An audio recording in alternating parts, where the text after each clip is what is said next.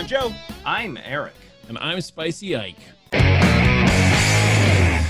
And you're listening to Just Cool Enough or watching it. And for some stupid reason, uh, they decided to do this this hot wing thing. I don't know. We're just I, we didn't really talk about what it, this is. We're just gonna eat hot wings and do the show.